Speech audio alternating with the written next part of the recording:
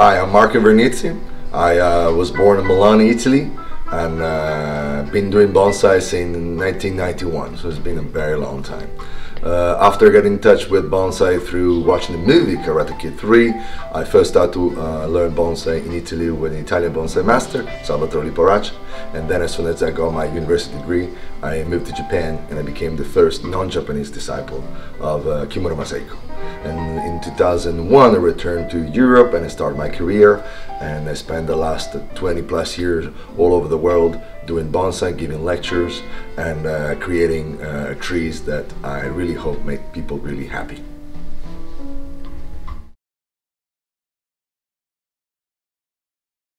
So, uh, first, first time in uh, in the history of the uh, Sakufu-ten that today celebrates its 48th edition, a non-Japanese member uh, has been able to show a tree uh, at this incredible exhibition.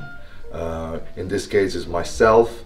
Uh, I became a few years ago the first non-Japanese member of uh, of the Kumiai, of the Association of the Bonsai Master in Japan, because I truly want to represent my heritage uh, so I found many, many years ago in Japan this European Scots pine that came to, to Japan, uh, God knows how, but made its way to Japan and then I immediately fell in love with it. Of course, the tree was much bigger. It was left unworked for uh, quite a number of years. So I started work with the idea that one day I will, uh, I will show it at this incredible exhibition.